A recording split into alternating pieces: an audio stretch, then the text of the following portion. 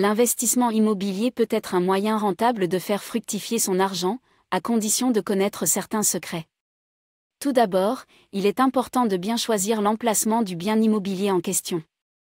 Un emplacement attractif augmentera les chances de trouver des locataires rapidement et d'avoir un revenu locatif stable.